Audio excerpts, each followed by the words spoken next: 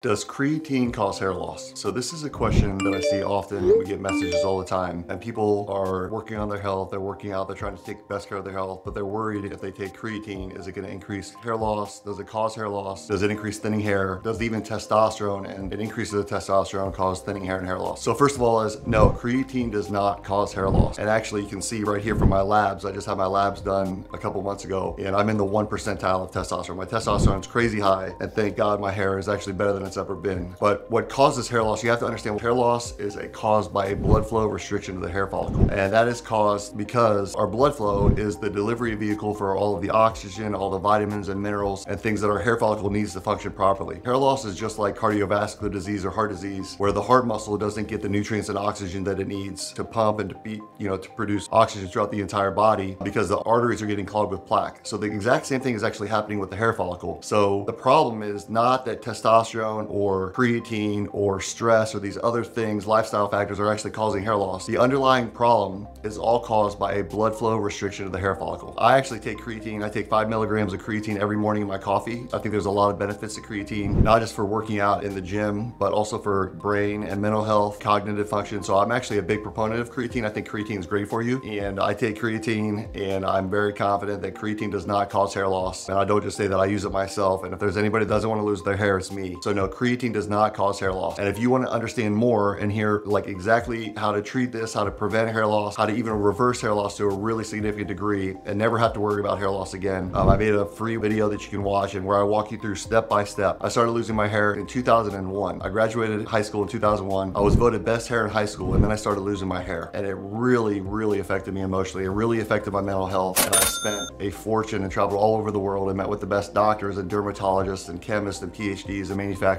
My mom and our pharmacist. We have three doctors in the family, so I tried everything you could possibly imagine. But I, again, thank God, I have stopped, not only stopped, but regrown a significant amount of my hair. And I've helped thousands of other men and women from around the world stop their hair loss and regrow their hair as well. So click the link below if you're interested, and I'll walk you step by step so you have a complete understanding and a foundation of what causes hair loss, what causes thinning hair, so you can have the best hair that you've ever had as well. Thank you.